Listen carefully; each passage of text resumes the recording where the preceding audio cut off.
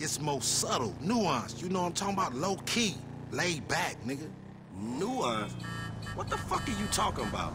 See, that's your problem, nigga. You ain't got the brain power to differentiate all this high dollar speak I'm spitting right now. Hey, Don't like work too hard or do anything bogus like that.